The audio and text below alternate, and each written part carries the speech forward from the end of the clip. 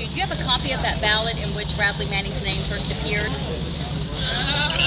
He's in a car in Okay. Buffalo, New Were you asking that? Yeah. Um, Channel Channel Two wants to know if you have a copy of the ballot that Manning's name appeared on.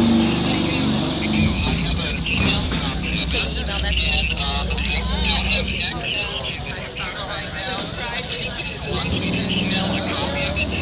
your email address, just